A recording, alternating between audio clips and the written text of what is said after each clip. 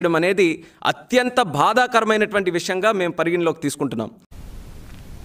ఏపీలో వైద్య విధాన పరిషత్ విద్యా వ్యవస్థలు పూర్తిగా నాశనం అవుతున్నాయని టీడీపీ ఎమ్మెల్సీ అశోక్ బాబు విమర్శించారు.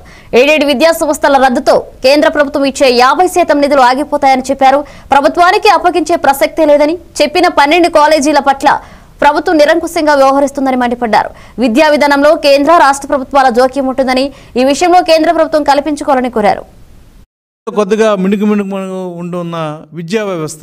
ఇది నాడు నేడు పెట్టి నేను స్కూళ్ళని బాగు చేసి పిల్లలందరికీ ఒక కార్పొరేట్ సెక్టార్లో ఉన్న ఫెసిలిటీస్ ఇస్తాను అంటే ఆ హడావుడు చూసి రంగులు గింగులు అంతా చూసి కూడా జనం నమ్మారు. కానీ ఇవాళ విద్యా వ్యవస్థను కూడా నాశనం చేసే మొదటి అంకం ప్రారంభమైంది.